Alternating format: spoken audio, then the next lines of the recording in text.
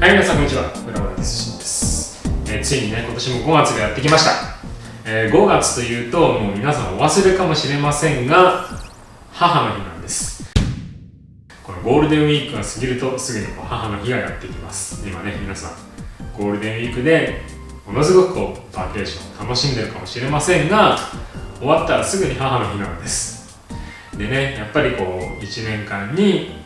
1年間にとか1年間の感謝の気持ちを込めて、えー母の日にはお母さんにこうお花を贈るっていうのが、まあ、僕的にはいいと思います、まあ、今はね他にもねいろんなものを贈るという、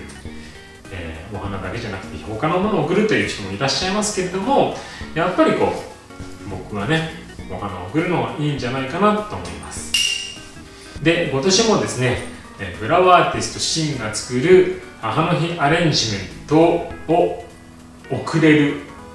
企画を作りたいと思います、えー去年はねあのー1万円のアレンジマンインベントだったんですけれども、えー今年は、えー5000円のアレンジメントを受けたいと思います、えー5000円プラス税金、えあとは送料かかる方は送料ですね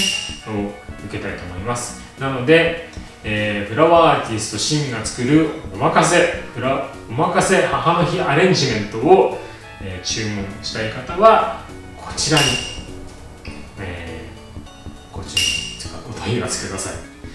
えー僕が作ったアレンジメントまあ限定になりますけれども、え限定で送らさせていただきます。で、えーメールをいただいて返信があった方はえっ、と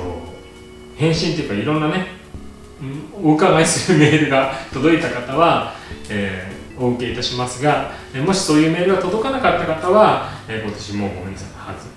えーはず 外れと言っちゃいけませんね、えーちょっとこうその限定の中に入れなかったということで、えーご了承くださいませ、